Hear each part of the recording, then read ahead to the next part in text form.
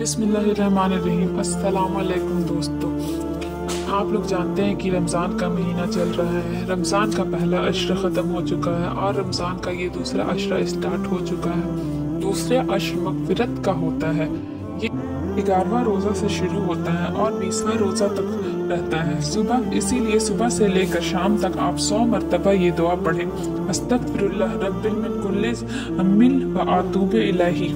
इसका तर्जुमा है, मैं अल्लाह ताला से अपने गुनाहों की माफ़ी चाहता हूँ, जो मेरा रब है, हर एक गुनाह से और उसके तरफ़ रजू करता हूँ। ये रमज़ान की दूसरी अशर की दुआ है, इसीलिए आपको हर वक्त चलते फिरते इस दुआ को पढ़ते रहना चाहिए आप इस दुआ को फिर से सुन लें। तक फिर रब्बिल मिन कुल्ले जमी अतूब दुआ आपके स्क्रीन पे दिख रही है। आप इसको सही तरीके से पढ़ लें। इस दुआ से आपकी मफफरत होगी।